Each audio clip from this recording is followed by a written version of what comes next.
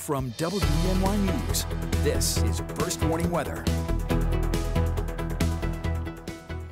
Well, welcome back. Despite the cold start this morning, temperatures in many areas in the 20s. We managed to get well up into the 50s for highs, enjoyed plenty of sunshine, and uh, we're enjoying clear skies at this hour as well. Not expecting any precipitation in the forecast, at least through the next 24 to 36 hours, but then some changes here as we progress through the end of this upcoming weekend. Checking out our almanac for the day today, hey, we tied a record 58, the unofficial high at the Elmira Corning Regional Airport, and that's the current record dating back to 2015. Yeah, we started the day off at 23 degrees. Now we're looking at mainly clear skies in place right now, but We'll start to see some more clouds starting to filter in as we progress through the day tomorrow. Still calling for some limited sunshine, and Saturday will stay on the dry side. Not quite as warm as what we had today. Tomorrow's temperatures generally in the 40s, but that's still above average for this time of year.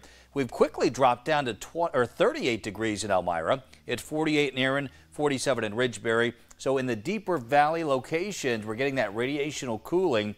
And again, temperatures quickly dropping off this evening. Some of the colder pockets down to the upper 20s for lows tonight. Tomorrow up to about 48. That's our five degree guarantee. And we'll be looking at some increased cloud cover through the day, but again, we stay on the dry side. And then by Sunday afternoon, rain showers develop. Some breezy conditions also expected. The temperatures back up into the lower 50s. So here's how it plays out. High pressure departs the region heading through the day tomorrow, allowing a storm system over the Midwest and another coming up the East Coast to push into our region. And this will spread some steady and heavy rains at times our way. Sunday night and through the day Monday, tail end of this, uh, we'll get a shot of cooler air going into Tuesday with a brief changeover to some snow on the backside of the system.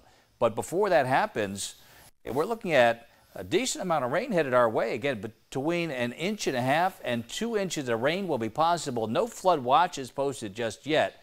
There have been some issued closer to the New York City area.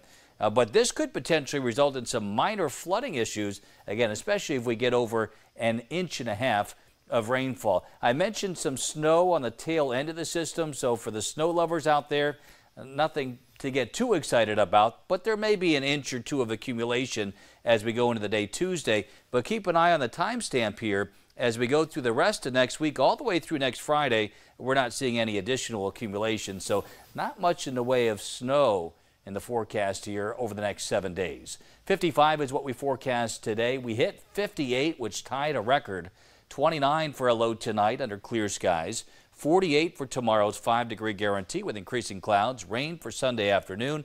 Steady and heavy at times through the day Monday, ending as some snow showers Tuesday, and then drier conditions will follow.